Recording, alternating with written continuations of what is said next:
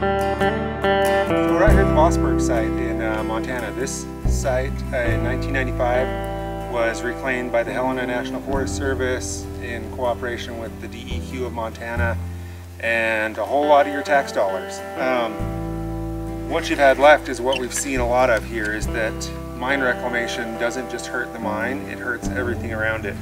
What you can see here used to be a road, used to be a hiking trail. Um, 1995 when they came through and did the reclamation here, instead of just stopping and blocking the mine, they actually went through and tore up rocks all the way up the road, threw trees over the road, really made an ugly mess. You can see we're here, this is almost 19 years later, and it's still an ugly, disgusting mess.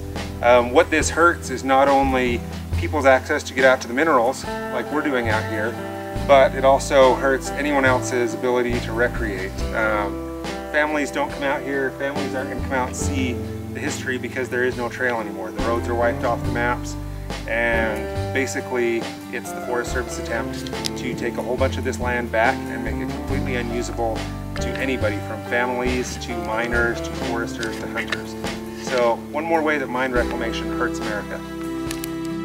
A little unnamed mine site that is uh, just off the Vosburg main mine. Um, this was, it's really sad, this was obviously a, a, big operation for probably a small little group of guys, uh, but the reclamation that they've done here has destroyed all the history and anything that's up here. Uh, part of this was done in the name of water, but strangely enough there is no water that's running down here.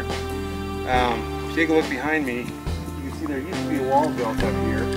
When they did the reclamation, they just tore all the rock down and destroyed this wall completely.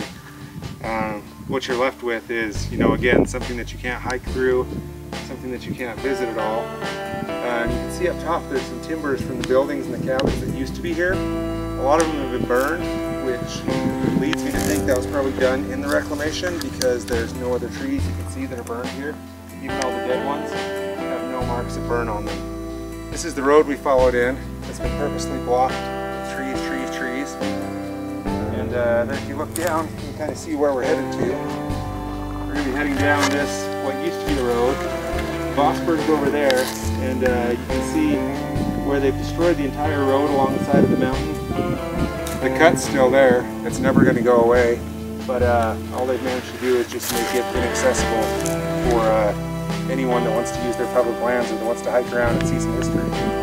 So, one more notch in the uh, reason why we should not be destroying these mines. And while I'm there, since I almost forgot, they say there's no more minerals on these lands. Well, we have silver right here, quite a bit of silver. And uh, as my partner here found, some nice pyrites that have bits of gold in them too.